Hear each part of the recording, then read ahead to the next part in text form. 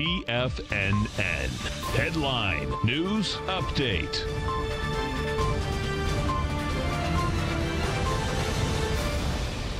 Good afternoon, everybody. I'm Tommy O'Brien, coming to you live from TFNN headquarters in St. Petersburg, Florida, 2 p.m. Eastern Time on Tuesday. Two hours left to go in the trading day. We got markets in positive territory yet again. Markets, all three of the major indices going for another record close today after a record close yesterday.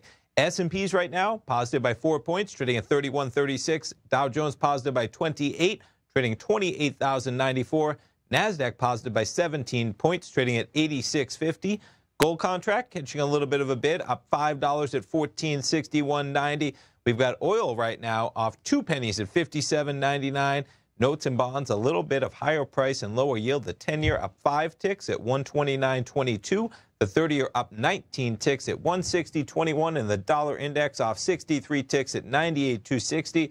Start things off. Let's jump over to the charts. We'll start it off with the Dow, currently trading 28,071.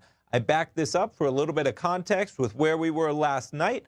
Highs overnight of 28,144. We just got above 28,100 briefly at about 12:20 p.m. Eastern Time, just under that level at 28,071 in the Dow.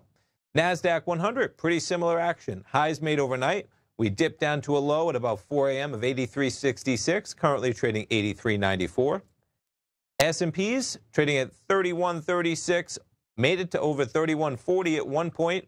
Still would be a record close if we close where we're at right now.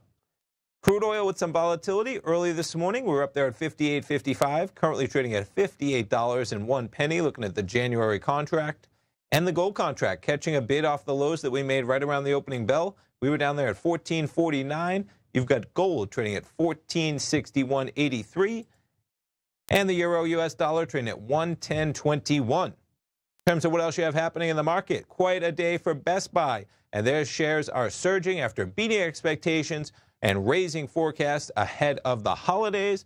Jumping over to the Best Buy chart. And before we do, check out that VIX, an 11 handle down to a low of 1142 overnight, currently at 1186. And we'll finish up the update with Best Buy continuing strength all day. This is a five minute chart. You see the initial thrust upward on earnings, but the opening bell, it just keeps going. We opened at around $77. We're now trading at 83.27, up more than 12% on the day.